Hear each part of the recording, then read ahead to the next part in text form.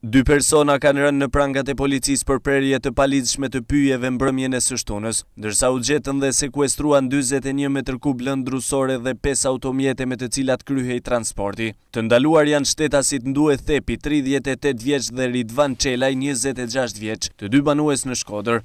Arrestimi i këtyre shtetasve u bë në rrugën e fshatit Domen, në njësinë administrative Postribë. Fillimisht janë pikasur nga shërbimet e policisë duke transportuar njëmbëdhjetë metër kub lëndë drusore me automjetet e tyre tip IFA, pa dokumentacionin përkatës. Shtetasit e arrestuar do të gjykohen për veprën penale Prerje e paligjshme e pyjeve. Ndërkohë, gjatë kontrollit të ushtruar më pas u gjetën të braktisura edhe tre automjete të tjera, ku njëra prej tyre me targë SH pesëdhjetë e pesë tetëdhjetë e shtatë E dhe dy të tjerat pa targë, të ngarkuara me tridhjetë metër kub lëndë drusore në total. Policia bën me dije se vijojnë hetimet për të tjerë persona të implikuar në këtë veprimtari të paligjshme.